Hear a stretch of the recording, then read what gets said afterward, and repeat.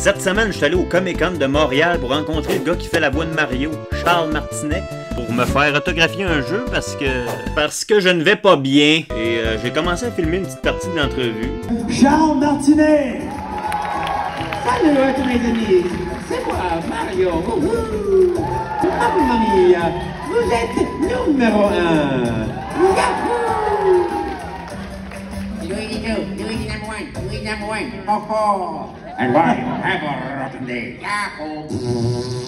Toujours est-il que j'ai profité de la tribune pour y poser la fameuse question que tout le monde se pose. Oui, euh, bonjour. Bonjour. Euh, puis-je poser ma question en français? Oui. Oui.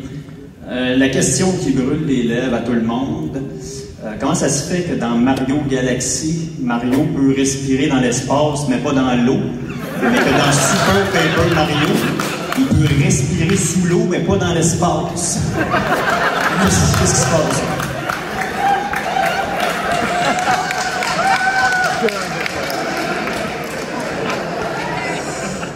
C'est la magique. Thank you.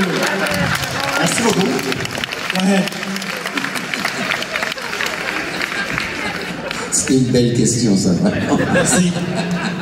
Fait que tout ça pour dire que c'était un Comic Con réussi.